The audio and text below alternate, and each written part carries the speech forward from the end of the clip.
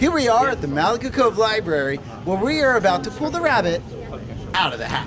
The library has a long history of, of being involved with art and public art, but no, we weren't specifically um, looking for a, sculpt- a, sculpture. What happened was that Marilyn Long contacted us and uh, she said that the foundation was interested in doing something at the library down here at the Malaga Cove Library, and were we interested in perhaps exploring a sculpture?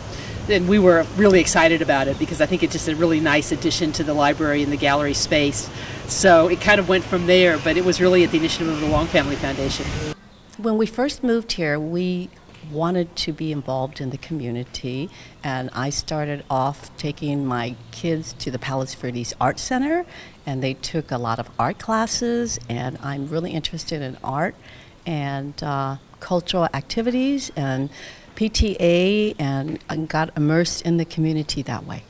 That's great. And now you have con- you have contributed uh, a, a statue to Malaga Cove Library. That would be a permanent installation out here. Is that right?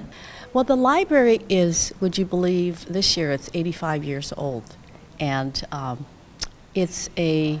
Uh, it was the first library that was conceived on this peninsula in Palos Verdes Estates, and um, I wanted something fun, something um, whimsical, and the name of the piece is The Storyteller, and the artist is Michael Azel.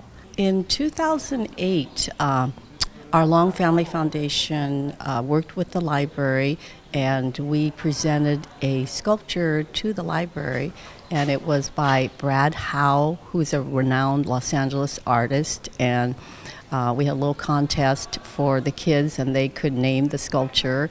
And a seventh grader named it "Balancing Knowledge," and it's a it's a contemporary piece, but it's right in front of the Peninsula Center Library.